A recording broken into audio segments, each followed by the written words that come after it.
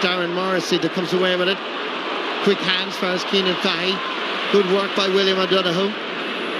Again, Tom Morrissey makes himself available, shooting from just inside the 65 metre line, and that is straight over the bar.